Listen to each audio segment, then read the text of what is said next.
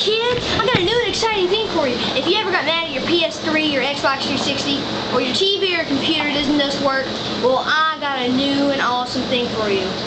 Just brick it. It's the universal brick. If it'll help you with anything, if you get mad at something, just brick it.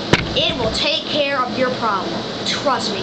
Watch, I can't, I've never been able to open boxes, but now I can, like this. I know? It's the best offer ever. And you know what's even better? Let me show you.